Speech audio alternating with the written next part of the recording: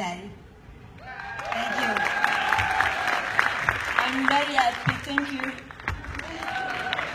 Thank you, ladies. Give them a big, big round of applause. Please stay on stage uh, so we can get those photographs. Step forward. Another big round of applause there. All right, just to let you know, uh, is uh, unfortunately not here with us today to crown uh, the Miss Vitality.